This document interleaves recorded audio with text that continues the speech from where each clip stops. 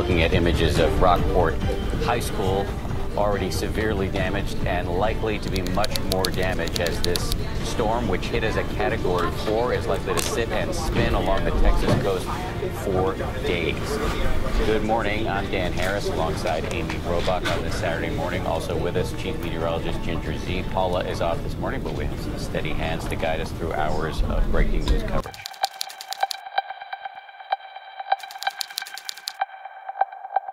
Off to see a cat who came by my studio. He's an art collector. Uh, he came by my studio with a with a bunch of people.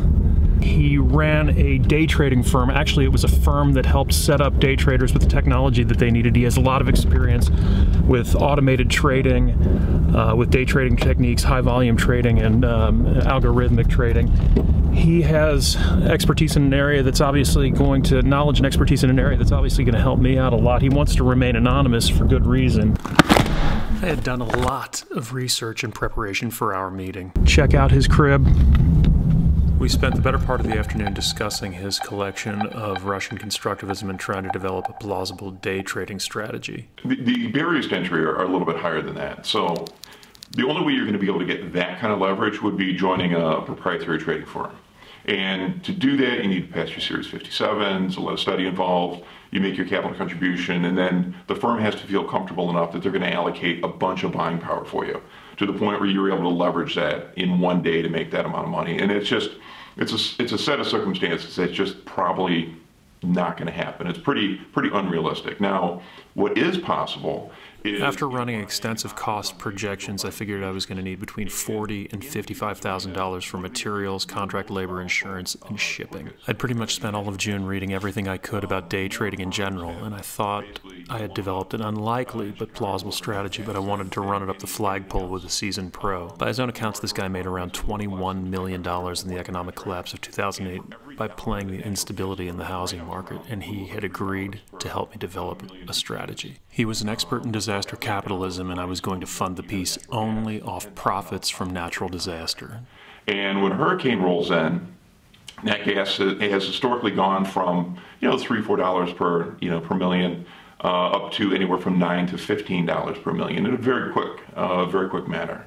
So that's a way that within a day or two or three, um, just by you know it's it's hurricane season, you're anticipating some kind of movement um, you could buy those futures and have a lot more money in a very short period of time. On his recommendation, I went back to the studio and transferred $2,500 to a private trading firm and then went to work furiously on those items of the installation that would cost no money, the painting and the CAD work for the sculptural objects. I was committed to the idea of funding the project exclusively from natural disaster. So I sat back while working and waited for the arrival of hurricane season.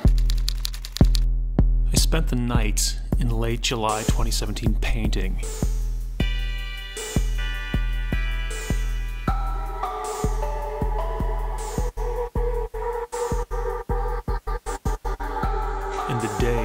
Working out the CAD work for the sculptural objects. All of the forms of this work taking direct inspiration from imagery from the collection of the Detroit Institute of the Arts.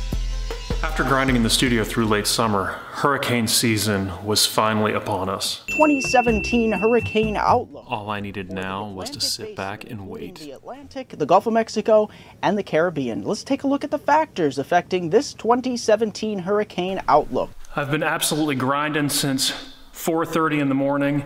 Harvey made land last night. I'm going to play the natural gas futures for the first time uh, today. Hopefully there's a high degree of volatility in, in the market. We'll see, we'll see how it goes. I don't know why I'm so nervous. Oh, jeez. It's only $2,500. I keep telling myself it's only $2,500. This is an ABC News special report. Hurricane Harvey, state of emergency. You're looking at some of the first images to come out of Rockport, Texas, which was hit by the eye of Hurricane Harvey overnight at around 10:30 local time. We're looking at images of Rockport High School already severely damaged and likely to be much more damage as this storm, which hit as a Category 4, is likely to sit and spin along the Texas coast for days.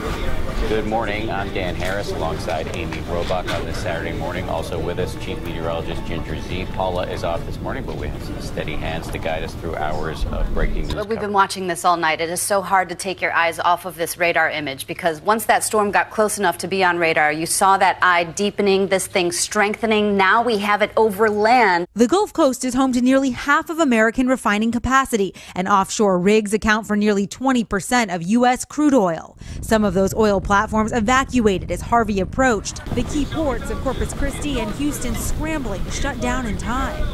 We move about 320,000 barrels of crude a day. So all of that stopped, and obviously we don't know when that will resume. If there is any significant damage and it takes more than three or four days to fix it, you could see a spike of 15 to 30 cents per gallon of gas between now and Labor Day. So uh, that's an addition of four or five dollars per Johnny. As the biggest storm in more than a decade to hit the United States, the total cost. Texas Rob, tell us so what it's like where you are. Look, I was trying to control myself. I had just turned $2,500 into $47,000 in five hours. To the other guys in the firm, this was all in a day's work. They had bigger fish to fry and exponentially more money on the line. So, in a five hour period on August 17th, as the devastation of Hurricane Harvey becomes apparent with the light of day, my $2,500 investment in natural gas futures becomes a staggering $47,402.57. That's a 1,896.1% gain in five hours. You still work here? Now, with a $47,000 profit in hand, I went into full scale, 18 hour a day production.